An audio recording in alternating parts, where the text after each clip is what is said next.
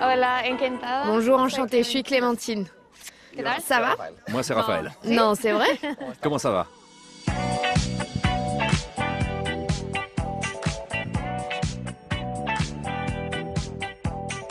Eh, hoy... Raphaël, aujourd'hui on est ici parce que vous allez ouvrir un nouveau centre, l'Académie Nadal. Pourquoi est-ce que vous vouliez le faire? Je crois qu'au final, le tennis eh bien, m'a donné beaucoup.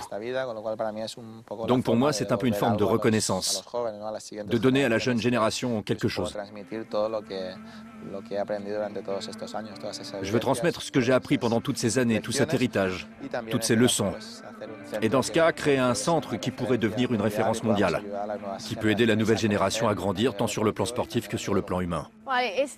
Et ce neuvième titre à Roland Garros, quand déjà vous avez gagné huit fois, qu'est-ce que vous avez ressenti? À chaque fois que je gagne, à chaque fois, je suis de plus en plus ému. Les années passent et à chaque fois, je ne sais pas si ce sera ma dernière. Du coup, la victoire est toujours très spéciale. Chaque histoire est spéciale. Avec toujours autant d'émotions, de joie. Et j'essaie de profiter de chaque moment qui passe. Et la dixième, c'est un rêve? C'était un rêve, la première, la deuxième, la troisième, la quatrième et la neuvième. Donc c'était un rêve pour moi. Jamais je ne me serais imaginé remporter tout ça. Donc pour moi, ça a été une très grande surprise et bien évidemment une grande joie tout ce qui s'est passé. Mais je ne sais pas ce qui peut se passer dans le futur.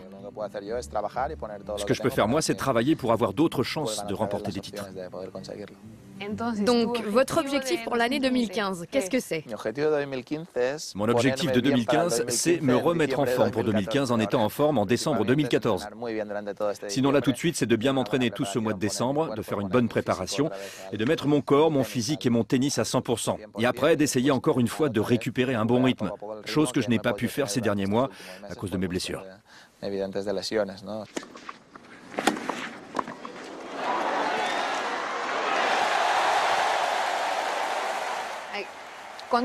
Sans vous manquer de respect, le public français parfois n'est pas vraiment de votre côté. De temps en temps, il y a des gens qui s'exaspèrent parce que c'est toujours vous qui gagnez. Non, je crois que le public, bien, durant chaque année, s'est toujours amélioré. Et sincèrement, une chose. Au début de ma carrière, je sais que le public, à quelques moments, a été dur et a montré ses émotions. Mais pour moi, tout le monde est libre de montrer ses émotions, libre d'exprimer qui ils veulent voir gagner, non Mais sincèrement, depuis que je viens à Paris,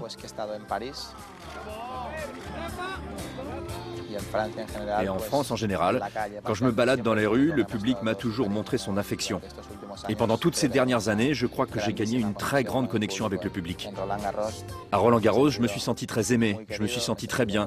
Et je les remercie énormément, parce que pour moi, me sentir aimé comme ça, dans un lieu que j'adore à ce point, c'est très important. Très bien.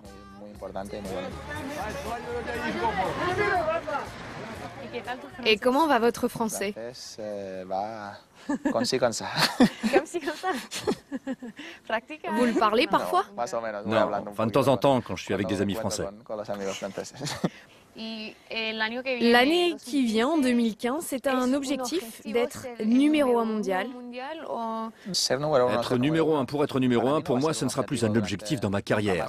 Si avec les résultats que je fais, eh bien, je redeviens numéro un mondial, fantastique. Mais je ne vais pas chercher à poursuivre cet objectif. Je vais suivre mon calendrier. Mon grand objectif, c'est d'essayer de jouer le plus d'années possible. Et ce que je ne vais pas faire, c'est hypothéquer les meilleures années de ma carrière pour essayer d'aller chercher la place de numéro un. Ce ne sera plus un objectif pour moi. Mon objectif, c'est d'être heureux et je pense que je le suis. Et quand vous étiez enfant, qu'est-ce que vous rêviez de faire? Moi, j'ai toujours voulu être sportif, footballeur ou tennisman. Mais ma mère, évidemment, voulait que j'étudie. Alors j'ai étudié jusqu'à ce que je sois professionnel de tennis. J'ai terminé mes études. Merci beaucoup pour cette interview.